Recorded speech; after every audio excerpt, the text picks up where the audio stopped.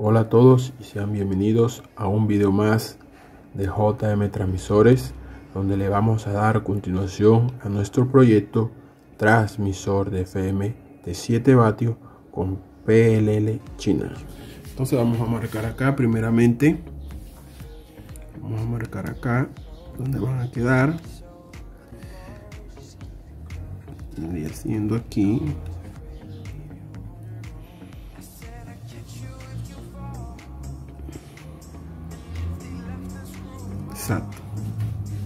Una vez marcado, vamos a hacer los huequitos con el taladro. Aquí están hechos los huequitos. Ahora vamos a marcar acá en nuestro aluminio.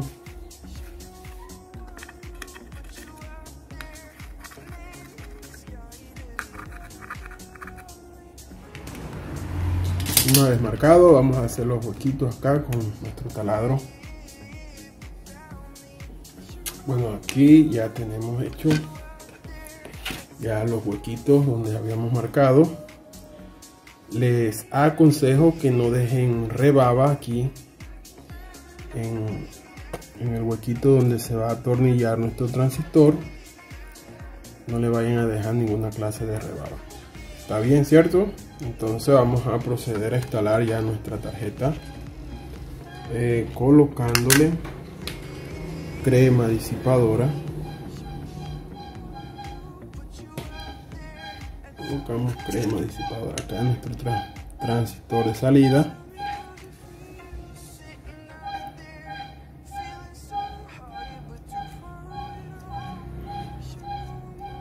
bien distribuida la crema en la parte metálica. Ven entonces vamos a instalar a colocar. Nuestra tarjeta acá.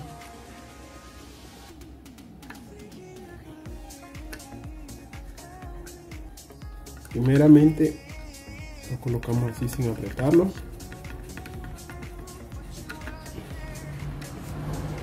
y después ya una vez ya estando todo cuadrado un cuadradito todo.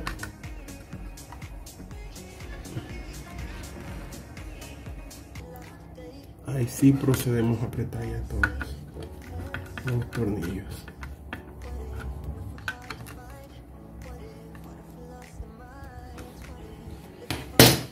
Y aquí pueden ver cómo está nuestro transistor bien colocado con su pasta térmica para que transfiera el calor a el aluminio entonces esta es nuestra base y a la vez nuestro disipador de calor de nuestro transmisor vamos a habilitar ahora vamos a habilitar la función del jumpercito ¿no? el que va a seleccionar la potencia de salida como la máxima y una potencia mínima que vamos a establecer nosotros a través de este sistema. Y cordialmente los invito a ustedes que no se han inscrito que se suscriban a este canal para que quede dentro de las notificaciones de todos estos proyectos muy interesantes que vamos a estar subiendo aquí en tu canal JM Transmisores. Entonces el sistema va a quedar así vamos a colocar un pin central y vamos a seleccionar con este jumpercito vamos a colocarle esta varillita no tenemos que colocarle donde el jumpercito vamos a conseguir seleccionar. Un pin central.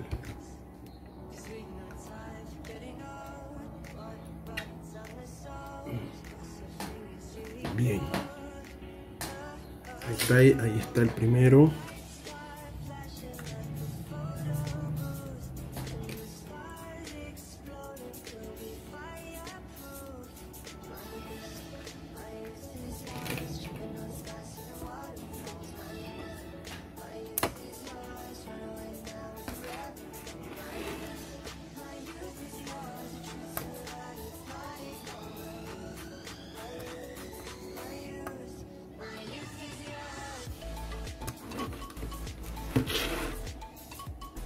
Todos los componentes, ya están todos soldados, ya terminamos. Vamos a hacer ya pruebas, ¿no? Vamos a conectar nuestra antena y nuestra alimentación para hacer las pruebas. Vamos a hacer las conexiones. Bueno, aquí ya tengo conectado lo que es la antena. Está bien acá o se me soltó de acá. Vamos a corregir. Acabé de soldar y parece que no lo soldé bien acá. Vamos a soldarlo bien. Entonces, aquí tenemos la antena. Cierto. Aquí está el cable coaxial de 50 ohmios, lo que es la tierra y el positivo acá en la salida del filtro pasa abajo. ¿Cierto? Eh, tenemos acá, eh, no le hemos colocado todavía el sistema para un una potencia baja, solamente la hemos dejado acá en potencia alta, o sea, la posición normal viene siendo para que dé la potencia. Aquí está un persito para que nos dé la potencia máxima. Y como ya saben, acá está alimentado la PLL a los 5 voltios del regulador. Y eh, no le vamos a conectar audio. Aquí viene lo que es la señal de audio. Y este, lo que es aquí este cablecito que está acá eh, para seleccionar monofónico o estéreo esa, esas funciones eh, se las podemos habilitar después. Ahora lo importante lo que vamos a hacer ahora es probar que nos esté funcionando o cómo nos está funcionando. Entonces vamos a prender acá nuestra fuente prendemos nuestra fuente. En nuestra fuente aquí prendió la PLL 100.7 eh, y tenemos tenemos aquí 9 vatios de salida. 9 vatios de salida. Tenemos acá 12 voltios 13 voltios 12.9 y tenemos 1,5 amperios de consumo. Entonces eh, acabé de prenderla no y nos está dando este resultado. Pues miren que aquí en la escala de 200 nos da casi los 10 vatios. Y acá nos está dando 9 con algo. La temperatura es sí calienta más o menos unos 60 grados de temperatura. Bueno vemos que no funcionó eh, con más potencia de lo que pensábamos que nos iba a funcionar Como acabamos de ver, nuestro transmisor de FM nos está mandando 10 vatios de potencia con el C1971. Eso quiere decir que este circuito que hemos diseñado aquí, JM Transmisores, nos está rindiendo al 100%.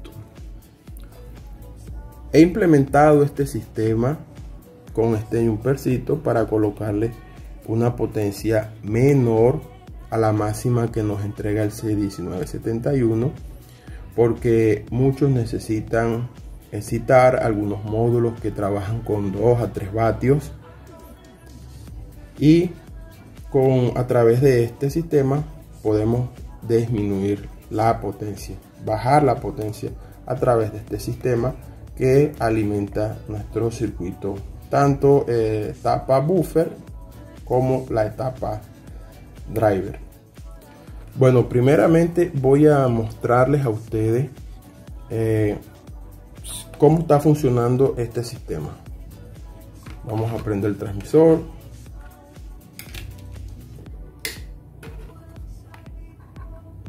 En la frecuencia de 100.7 MHz.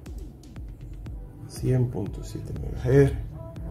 Vemos acá la potencia que nos está entregando que es de unos 9 vatios exactamente tiene un, una alimentación de 12,3 voltios y un consumo de 1,4 amperios entonces Cuando quitamos el jumper, ya hemos quitado el jumper, la potencia se va,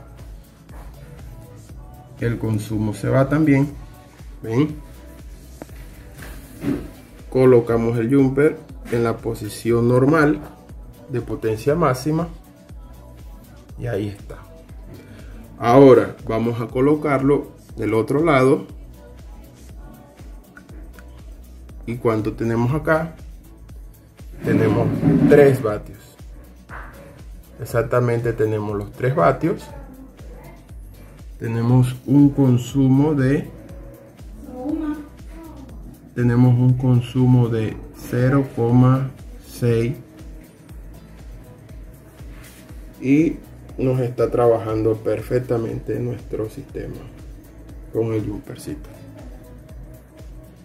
les quiero comentar que estos transmisores que estamos montando aquí los estamos montando artesanalmente con técnicas caseras para que usted aprenda y los pueda montar en su garaje, en su laboratorio, en su casa.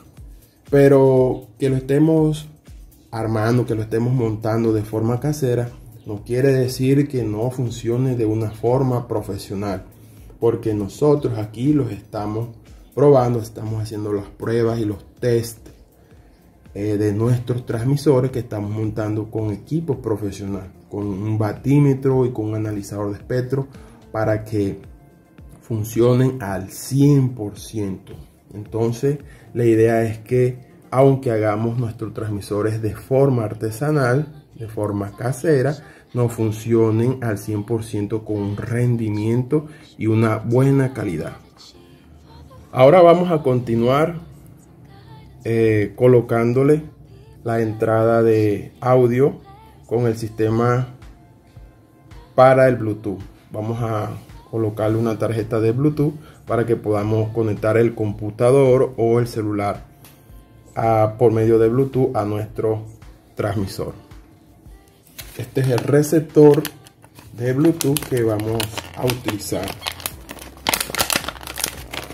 vamos a sacarlo vamos a sacarlo de acá de de su cajita plástica.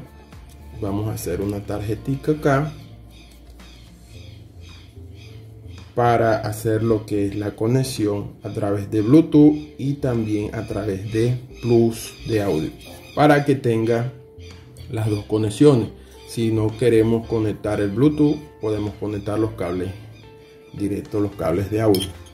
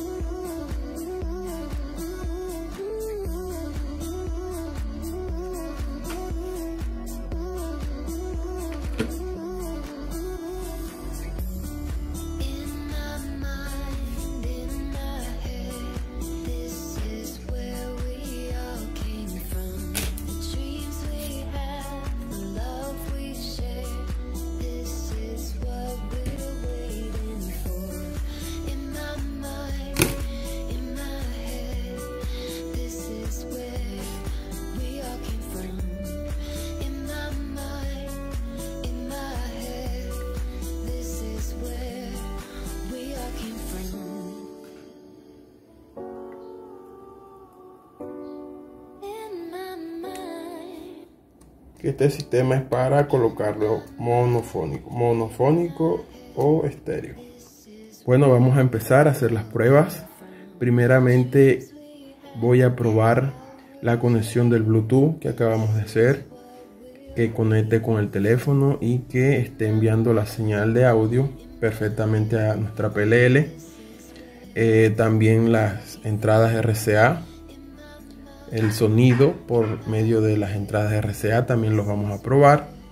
Luego vamos a ver la señal en el, analizador de espectro y por último el ancho de banda de nuestro transmisor. vamos a comenzar aquí prendiendo nuestro receptor. Aquí está nuestro receptor.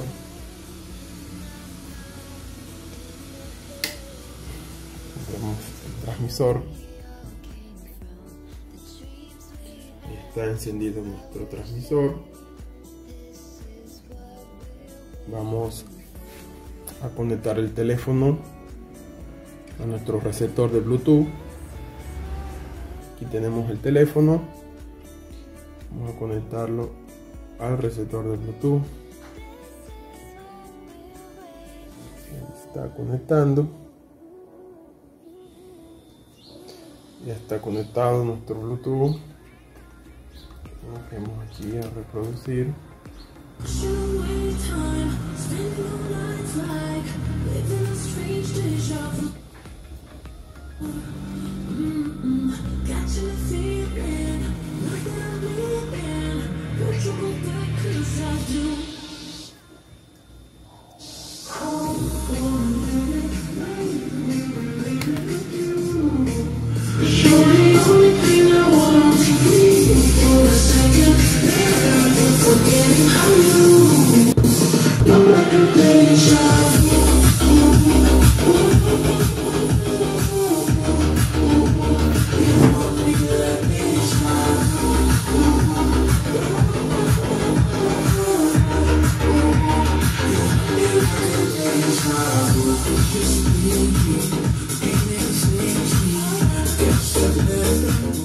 Ok, está funcionando perfectamente la conexión del Bluetooth y colocamos aquí la conexión de audio por RCA. Conectado plus de audio por RCA. Colocamos ahora música en el computador.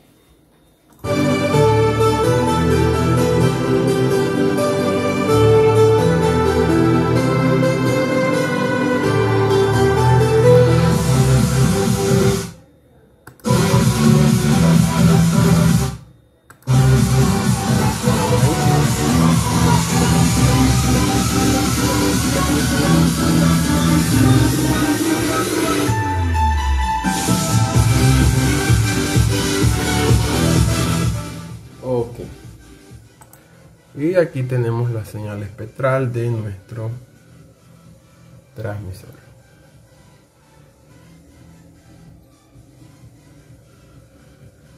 Pueden ver bueno eh, siguiente prueba vamos a probar lo que es el ancho de banda de nuestro transmisor. Vamos a probar lo que es el ancho de banda y vamos a cambiar la frecuencia para ver cómo se mantiene el ancho de banda de nuestro transmisor. Primeramente vamos a poner una frecuencia alta, más alta. Bueno, ahí tenemos los 107.9. Tenemos 107.9. Tenemos una potencia de 7,5 vatios. 7,5 vatios. Subimos acá la, la frecuencia vamos a bajarla. Aquí a 88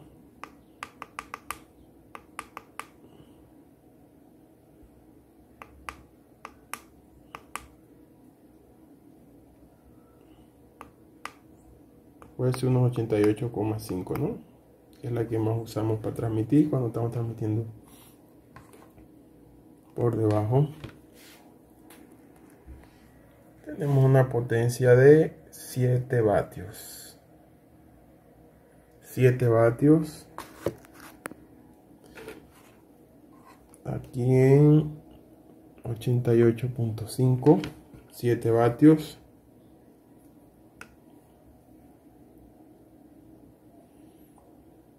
noventa y ocho punto cinco. Tenemos una potencia de 8,5 vatios. No tenemos 9 vatios. 9 vatios.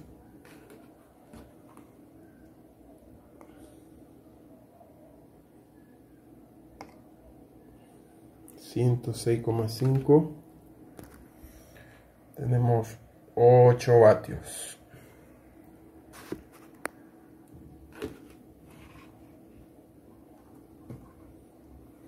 bueno entonces esas son las pruebas que teníamos que hacer. Eh, se maneja bien en el ancho de banda donde mínimo tenemos 7 vatios con un voltaje de 12,5 mínimo tenemos 7 vatios. En las frecuencias medias tenemos 9 a 10 vatios y en las frecuencias altas tenemos 8 vatios ¿no? O sea, que trabaja muy bien en todo el ancho de banda tiene un promedio de 1 vatio sí, tenemos un promedio de 1 a 1,5 vatios pero está dentro de lo que queremos, ¿no? Que nosotros queríamos mínimo, que son los 7 vatios del proyecto. Acá cambiamos de posición el jumper. Y aquí tenemos 2 vatios. Con la posición del jumper acá. En la potencia baja. Y en potencia alta tenemos 8 vatios. Bueno, y así ha quedado nuestro proyecto transmisor de FM de 7 vatios con PLL China funcionando perfectamente, probado, testado con herramientas profesionales. Un transmisor hecho artesanalmente con técnicas caseras, pero que funciona muy bien, por encima de las expectativas. Y así de esta manera damos por terminado nuestro proyecto. Si este tipo de contenido le ha gustado, le, les ha ayudado, les invito a que se suscriba, deje su like y continúe apoyándonos aquí en este canal JM Transmisores.